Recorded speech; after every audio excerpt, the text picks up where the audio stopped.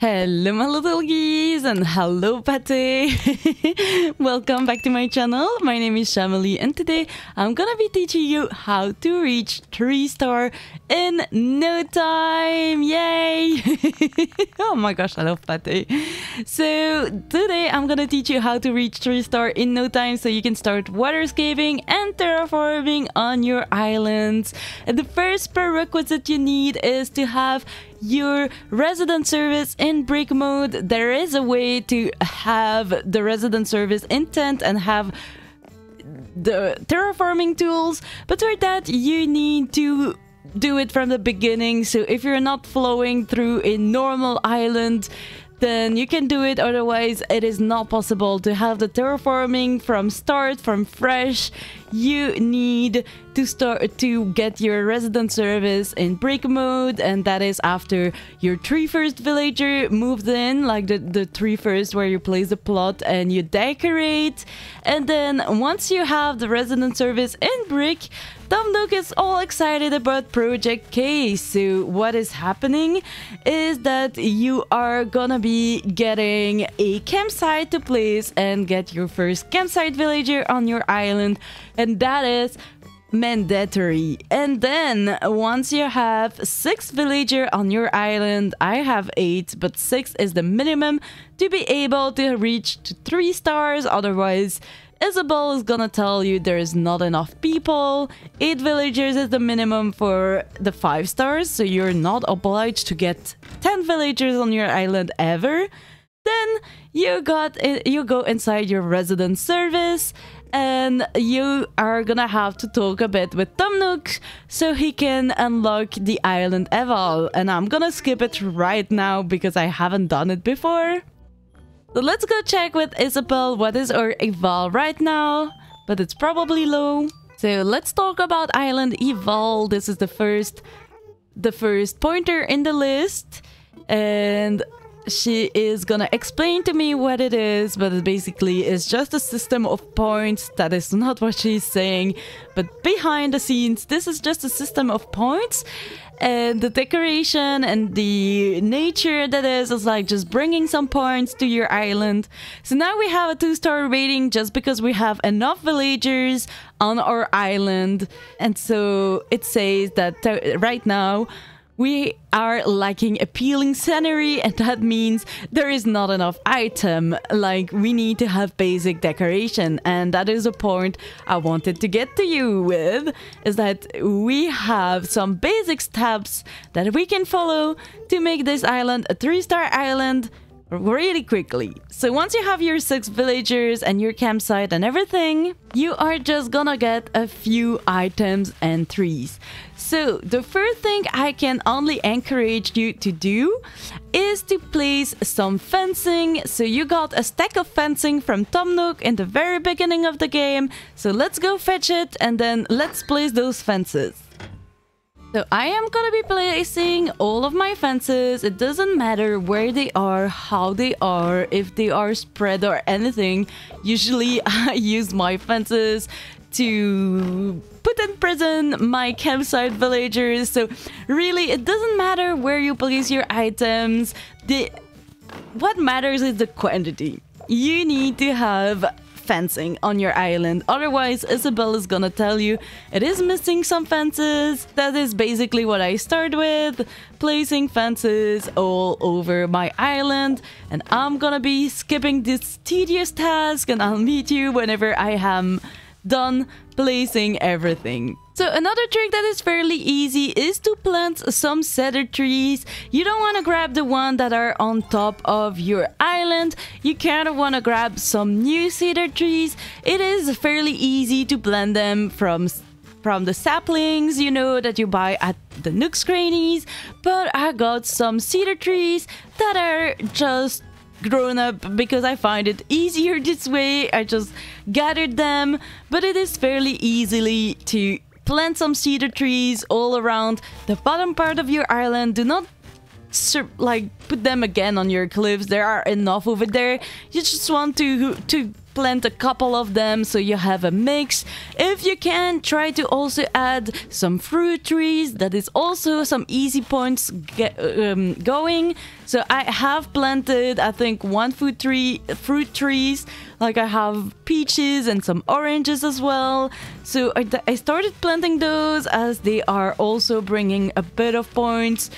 So you really want to decorate, to add as many stuff on your island but do not put too much trees because if you have too much trees in one area then Isabelle is not gonna be happy either. You have to fall into some limitations and also you want to stick to have some places on your island so yeah that you can place also some objects because objects as it might be a shocker are the items that bring you the most point on your island so leave some room for some items.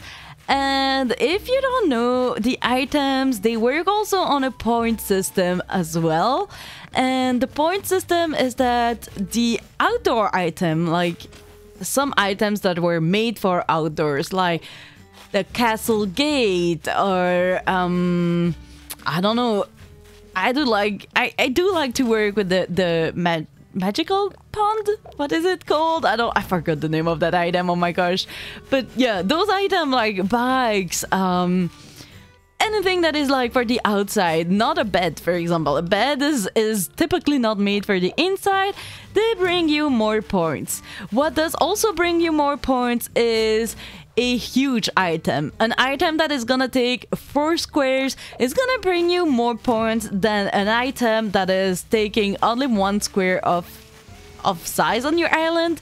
So I tend to see my island as just a grid, you know, where you can dig up holes is equals to one square of the grid. And so an item that would take up to four holes on your island would be four square items. So this is what I'll be doing once I am done planting my cedar trees. But I swear planting cedar trees is important. I have done tests before. And if you don't add your some cedar trees on the bottom part of your island. You can place as many items as possible. It is not gonna work. So this is my trick to really do not skip, do not skip cedar trees days. and I think I have enough this way, but I am never sure. So I just add two rows of inventory for like a point of comparison. I try to to use two rows of inventory and I think that is more than enough cedar trees but of course, I don't have like a supercomputer in my head, so I actually don't know how many stars I have. Like, I don't think I have improved my reading. As I was telling you, we are still waiting for the items to be placed. So now that I have planted my cedar trees, I am gonna try start to place my items and so I am starting with those huge items I was telling you about, like this glowing moss pond, and I'm also placing a lot of castle gate, castle towers. And sadly, I do not have enough to upgrade my inventory to the like very max of it so it is gonna take me a multiple time. By the way i am not very sure if removing some weeds has an influence on your score. I do not believe so because you can have weeds on your actual island and it is not gonna drop the score from like five stars. So i don't think so but anyway you do remove them to place your huge items are they are as they are quite important. So i am just gonna drop them all over my island. I try to put them kind of in a fairly amount of space like not cluttered in one space. I try to put them everywhere on my island so that the rating is like kind of even. And this is what i just start doing. And oh my gosh look at ed this is the Wish edition of Julian that we got in the campsite. but yeah, so that is what I'm gonna be doing. I will pick it up with you when I am done placing everything on my island and I will check my scores with you to see how far we went and how much we still have to accomplish. So I tried to cover my whole island with some castle towers and some glowing moss ponds. And by the way, I realized that the castle towers are super pricey. So if you are especially doing the horde mode challenge where you cannot really cheat or exchange with people and stuff, I fairly understand that. So maybe what you can replace the castle towers with is some giant vines that you can grab easily if you have HHP. That is something that you can fairly try to do um otherwise yeah try like it's just gonna require you more and more items if you cannot access those huge big items here i have placed almost a full inventory if i had like my full the four rows of inventory then this is more or less what i placed on my island so let's go check the score so I'm checking with Isabelle how far we are to see if we need to add more. Maybe flowers is something I also forgot to add a bit more. So let's see my evaluation.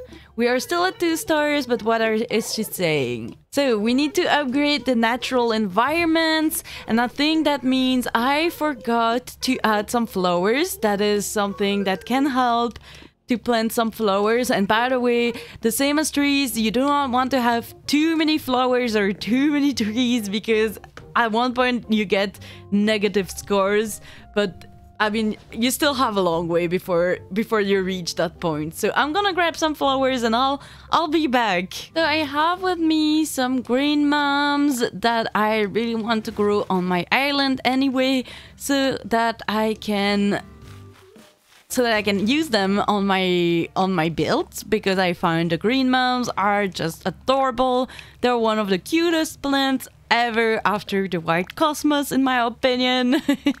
So i'm just gonna place some flowers here and there and i think i have an inventory. I am not too sure how many i must have but just like gonna put them everywhere on my island. By the way, sometimes you do not aim at having 3 stars because whenever you're hanging between the Eval and you don't unlock terraforming, your villagers keep on giving you gifts. Once they know that you're trying to achieve 3 stars to to make KK come have a concert on your island, villagers are so excited they start to give you so many gifts. So if you want that aspect, do not rush for 3 stars, do not really go check your eval even if you reached it a long time ago because they will keep on giving you gifts again and again like here Ed is gonna be doing Oh my gosh, and already we have three stars. So one inventory of objects, one inventory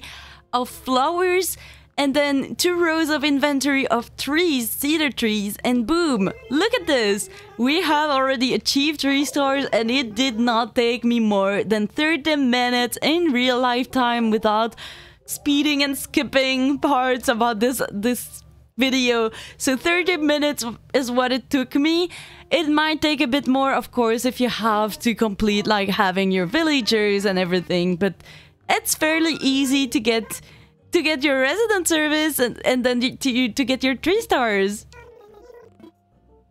So of course now you're gonna have like a little chit chat between Tom Nook and Isabelle because KK is gonna come on the island.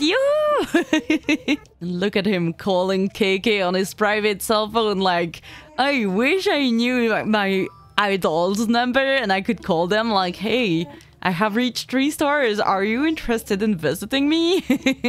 and then that's it. On the very next day, you are gonna be waking up to a great news. KK Slider is coming on your island. And by coming on your island, KK is hence unlocking terraforming. And then you'll have to sacrifice all your precious Nook. So I hope you spared in the meantime because you're gonna have to spare them to, to get your your path and everything that you can buy. Of course, nothing is free in this game. so that was kind of it. I'm gonna leave you on that adorable KK concert and I hope you can enjoy getting 3 star. Tell me if you're a speedrunner or not and if you reach 3 star quite quickly or if you do prefer to take your sweet time and leave let me know in the comments. Don't forget to subscribe to my channel if you enjoyed.